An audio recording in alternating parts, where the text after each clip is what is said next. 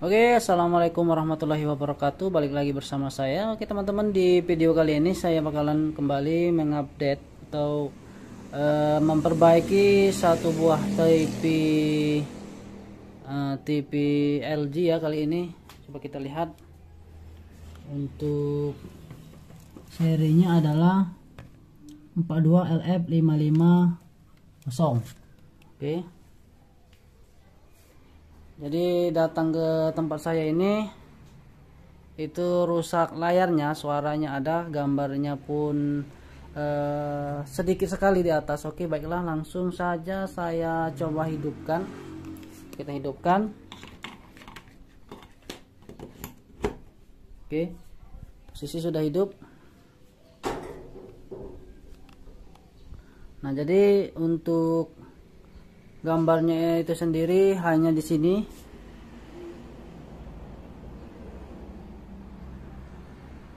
Sementara untuk di lainnya itu hitam gelap bahkan ya ada garis-garis tadi ada garis-garis. Kemudian di sini ada beberapa bintik ya. Bintik itu karena memang reflektornya itu yang lepas atau kancingnya itu lepas ya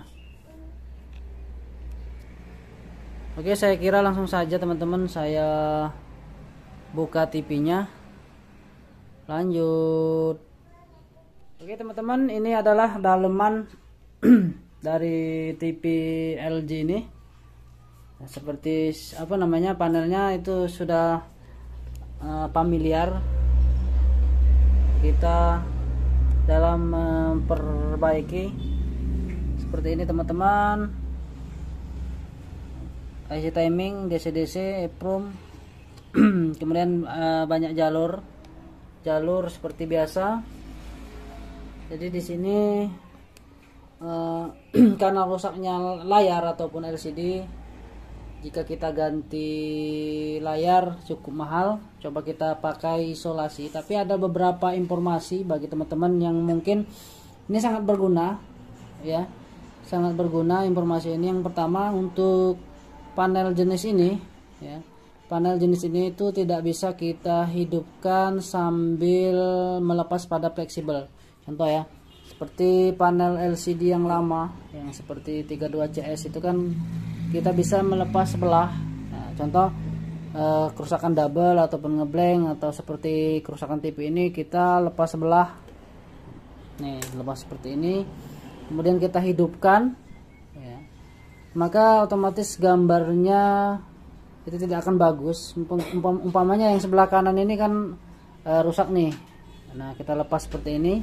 Kemudian kita hidupkan itu tidak ada reaksi melainkan hanya ngeblank putih kadang hanya bergaris-garis. Ini kita pasang kembali umpamanya. Kemudian kita lepas yang ini kemudian hidupkan. Itu sama saja jadi metode atau panel jenis ini itu nggak bisa dibuka e, fleksibel sebelah sebelah kemudian dihidupkan. Berharap gambar itu bagus ya. Jadi mudah memponis kerusakannya. Nah tetapi teman-teman e, panel jenis ini harus langsung diisolasi ya. Terutama di bagian row. Saya perlihatkan dulu. Nah ini uh, solasi di sini. Ini kan ada pikom PST sampai CLK ya kurang lebih 1 2 3 4 5 6 7 8 9 10 11 12 sebanyak 12 jalur. Langsung diisolasi yang kanan atau di kiri. Coba saya hidupkan dulu teman-teman. Saya hidupkan dulu TV nya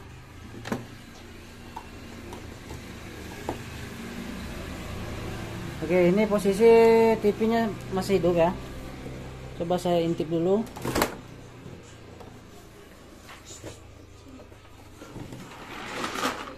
Oke masih seperti tadi. Hanya di bawah situ saja yang ada eh, apa namanya eh, gambarnya atau eh, penampakannya. Coba saya matikan sebentar. Nah coba kita langsung isolasi. Tetapi eh, dengan metode seperti ini saya jarang sekali berhasil. Nggak percaya? Mari kita coba. Kita coba dulu. Ntar. Oke, saya coba dulu teman-teman.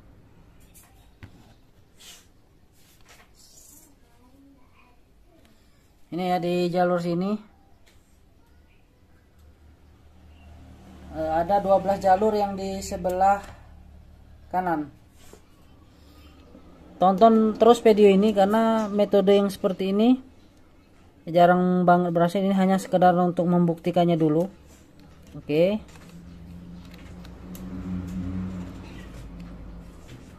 Ini sudah 12 jalur kita isolasi atau saya lakban. Kemudian saya hidupkan. Nah, kita lihat penampakannya teman-teman. Seperti apa?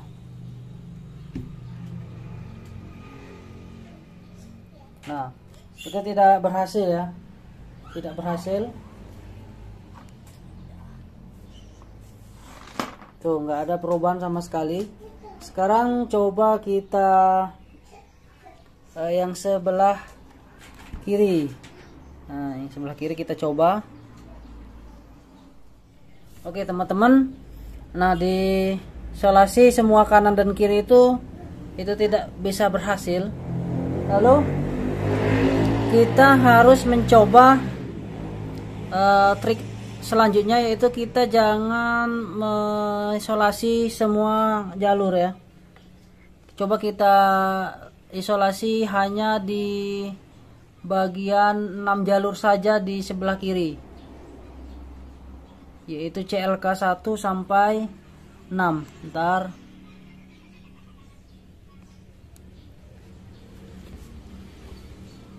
Nah jadi ini ada 6 jalur.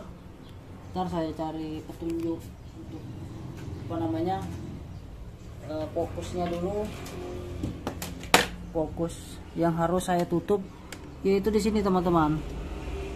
Ini kan ada jalur nih. 1 2 3 4 5 6 nah 6 jalur ini itu ada hubungannya di sini. 1 2 3 4 5 6 yaitu CLK 1 2 3 4 5 6 ya. Nah dari sini e, bisa anda isolasi di sini. Hanya 6 jalur atau bisa dipotong dari sini. Coba saya isolasi dulu. Kita isolasi hanya 6 jalur ya teman-teman ya.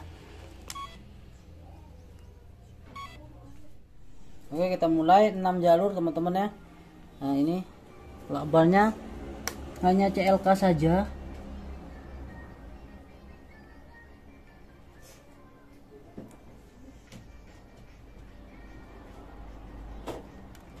Nah itu sudah saya coba CLK saja. Ntar. Hmm, itu hanya CLK saja. Yang kita tutup jalurnya.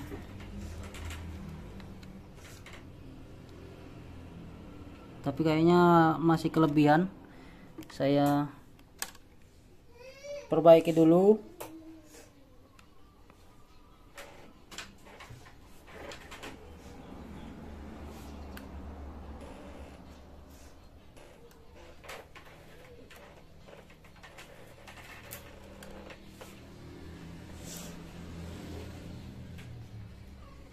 Oke mungkin terlalu ribet kita potong aja lah teman-teman ya. Kita potong saja 6 jalur ini menggunakan cutter.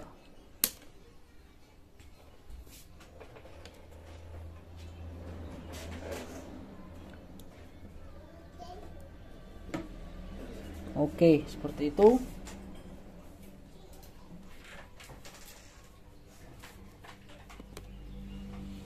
Oke ini 6 jalur hanya 6 jalur. Kalau diputus ditutup semua nggak mau dia. Ya. oke sekarang kita hidupkan. Kita testing.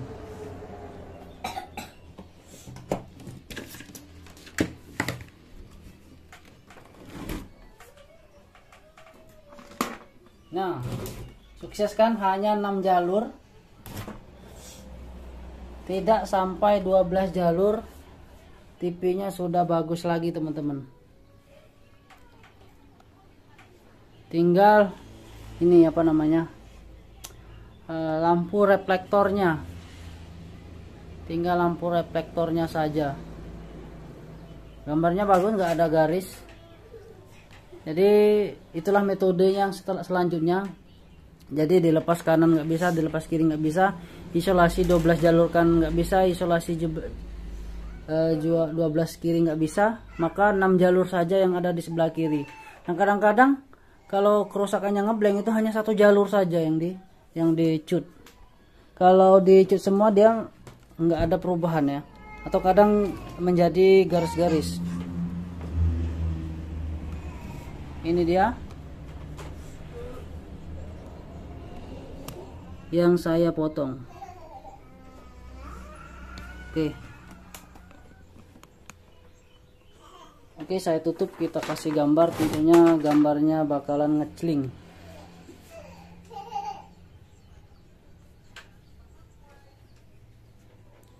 Oke mungkin sampai sini dulu tutorial dari saya. Semoga bermanfaat. Terima kasih bagi semua telah menonton. Thanks for watching. Assalamualaikum warahmatullahi wabarakatuh.